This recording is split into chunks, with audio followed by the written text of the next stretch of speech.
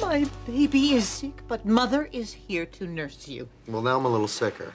Well, don't you worry about work today. I am ready and willing to step up and take over. Yeah, and I'll get George Michael ready for his driving test. No, no, no. I, I'm going to teach him when I get out. And no one's taking over for me at the Bluth Company. Michael, this is what we talked about. I'm sure they'll do just fine without you. Well, you're wrong because we're in crisis here. They need to know that I'm in charge and I'm in. Con- I'm peeing. Am I peeing? I'm sorry we gave you a little something to relax you. It may have taken the tingle out of your genitals. Oh, oh no, you're not taking care of my son. I'm sorry to say this, but it's too late for me to do anything for your son. Let him keep talking. Because Dr. Stein here has already been assigned to his case. You're lucky. He's the best. Well, only in the county, but I'm certainly good enough to take out that appendix of yours. Appendix. I don't buy it. Could be a hernia. Or it could be your colon. I'd want to get in there and find some answers.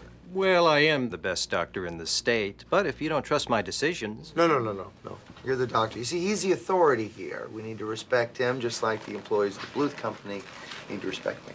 Okay, I'm going to put you on this machine to slow down your heart rate. Hopefully, not too slow, because it's already dangerously slow as it is.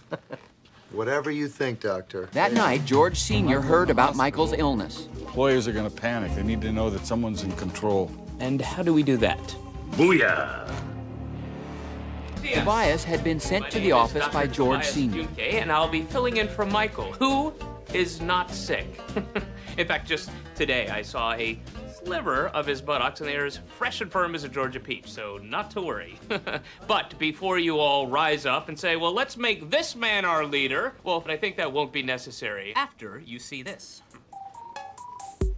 Is this right? Michael had just come around from his appendectomy. Give me the phone. I want to call George Michael. Tell him I'm okay. He's on his way here. We passed him on the road. He was doing really well. Had his first hop on. What are you talking about? He's driving? I told Lindsay not to teach him. I was going to videotape that hop on. Hey, Dad, how are you feeling? Bad, George Michael. I just found out Lindsay's teaching you how to drive. Yeah, she's still trying to get the stairs unwedged from the emergency room overhang. I was going to teach you. You know that. Just forget everything she told oh, you and we'll start God's over. For sake, Tobias is right. What? You have to control everyone's life. I don't know where you get that from. Oscar, stop licking that sore. I'm not. well, the operation went pretty smoothly, but once I got in there, the appendix wasn't so inflamed.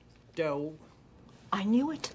Okay, well, can we get me out of here? I got to retrain my son how to drive, and I need to stop by the office to make sure my business doesn't go to hell. And not so fast, Michael. There seems to be a bacterial infection from the operation which left an abscess in your abdominal wall.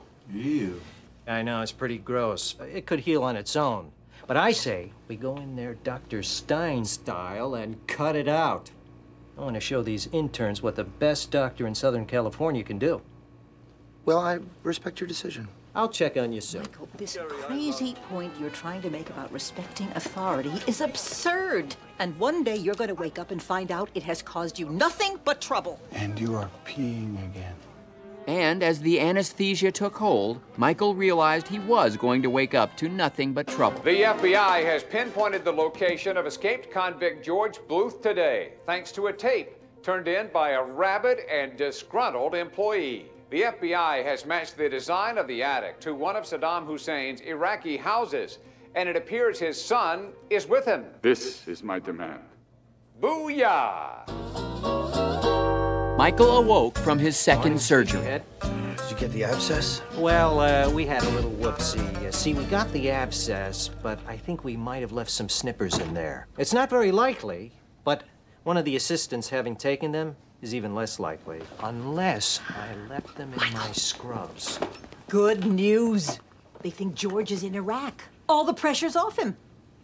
That was on the news? I thought that I dreamt that. Oh, they're going to think that I'm there. Oh. But not to worry. Tobias said he's handling it with the FBI, and the employees have everything under control. No, that's the worst thing possible. They think the company's in trouble and that I'm in Iraq. I got to get down there. I need your car key. And so Michael and George Michael headed to the office, Right which is here, how Tobias missed him. Michael Bluth is not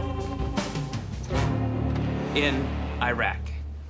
Michael, back to bed with you. You look awful.